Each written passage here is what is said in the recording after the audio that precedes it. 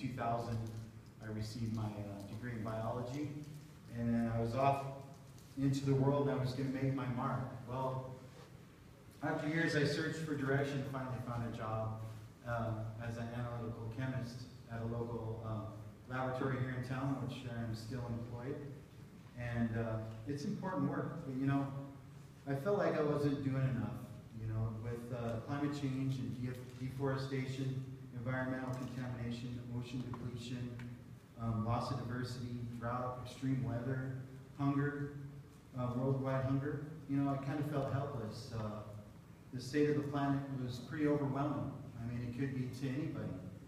So I literally shut down um, and chose not to, to carry that burden, you know, of the truth because it's a lot to handle for anybody. It's a lot to worry about. Realistically, how could I possibly make a difference? I help change the course of the planet? Well, ladies and gentlemen, this documentary gave me the answer to that question, and it's the reason why I share it with you today, and I hope it inspires you as much as it did me. Now, for your consideration, Cowspiracy, the, the sustainability secret.